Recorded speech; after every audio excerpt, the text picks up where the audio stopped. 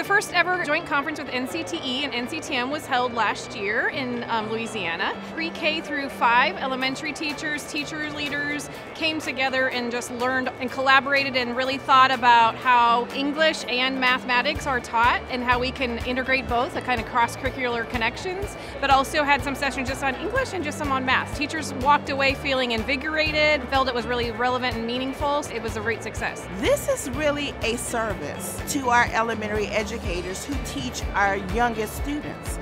Those are our foundational years. So we need to make sure that they're getting an opportunity to get that content knowledge and that pedagogy they need to strengthen their skills as they work with their students. We can't learn math without understanding math or comprehending. We can't learn math without talking about math or listening to others and really thinking deeply. And so those literacy skills really just fit nicely into a mathematics classroom. On the other side, when in literacy, we help teach justifying or problem solving.